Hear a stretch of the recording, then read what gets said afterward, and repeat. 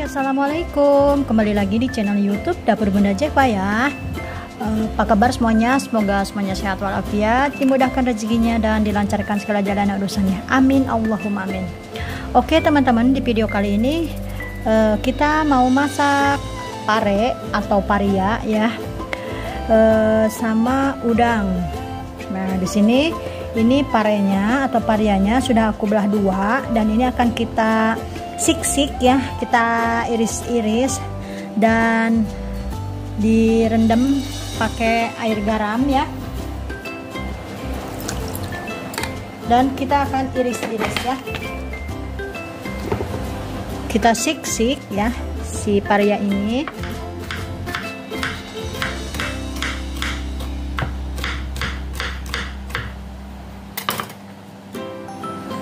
Oke, ini sudah selesai dipotong-potong ya.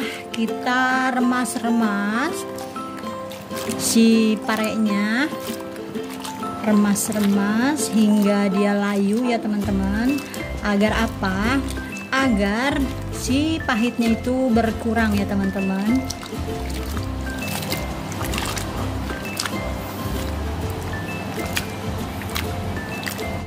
Oke teman-teman ini parenya sudah aku cuci bersih ya. Yang tadi itu diremas-remas sama air garam.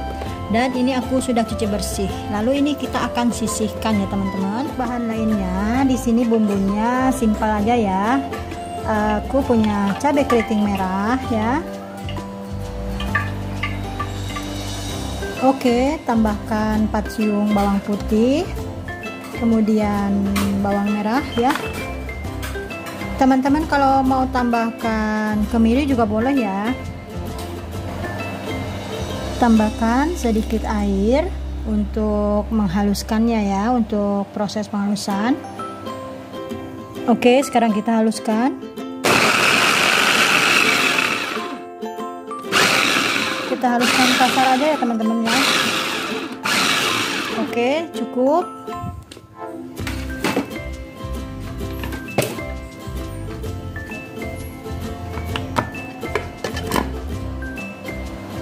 Oke, seperti ini aja ya.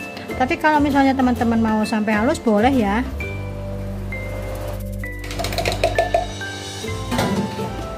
Kita sudah siapkan wajannya, lalu panaskan minyak secukupnya. Kemudian kita akan tumis bumbunya hingga e, tanak dan berbau harum.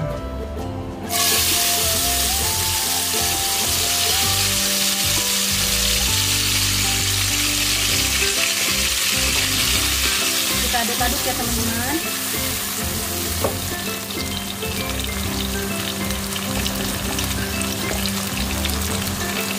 Setelah tanak dan berbau harum kita masukkan udang ya. Di sini aku sudah beli udang setengah kilo ya.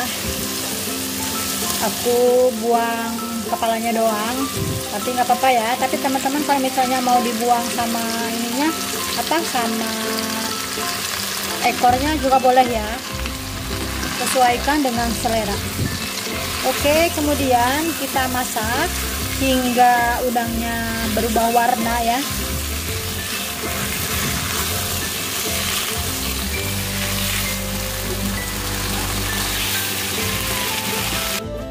Dan setelah udangnya berubah warna seperti ini ya teman-teman kita bisa masukkan parenya ya.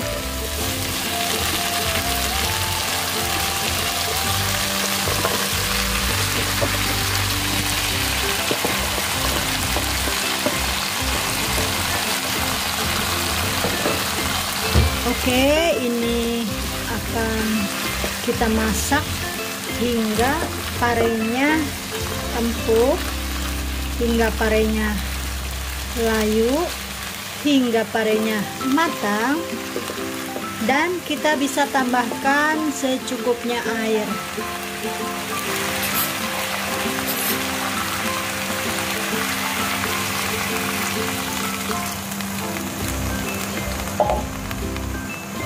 Oke, ini kita masak dulu ya.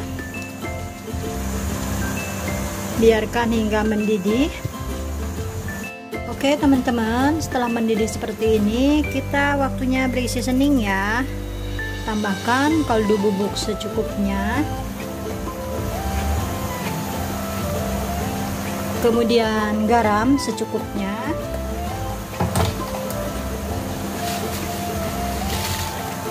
Gula pasir sesuai selera. Lalu kita aduk-aduk ya. Aduk-aduk hingga semuanya tercampur rata. Dan jangan lupa dites rasa ya.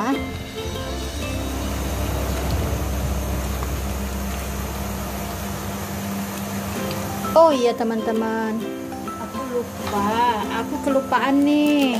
Tambahkan juga ini nih ya biar rasanya itu makin mantap makin sedap makin maknyus marunyunyunyunyus. Nah begitu ya. Oke. Kita biarkan si airnya asat ya. Oke. Masak hingga asat nah ini dia teman-teman hasilnya. Sambal pare udang ya uh, sudah siap disajikan. Terima kasih sudah nonton dan jangan lupa dukung terus channel ini dengan cara like, comment, share, dan subscribe.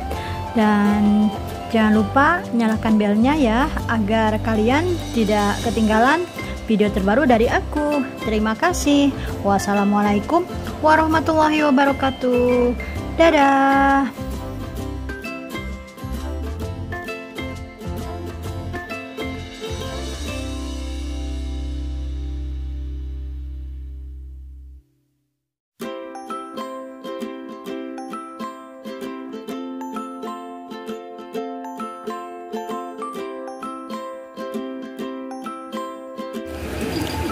Oke, waktunya makan.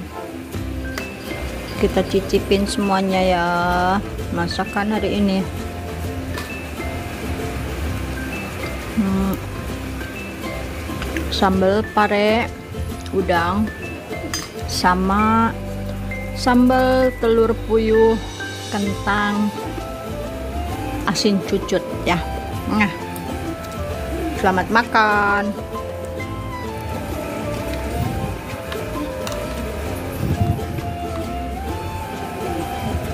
Cucu?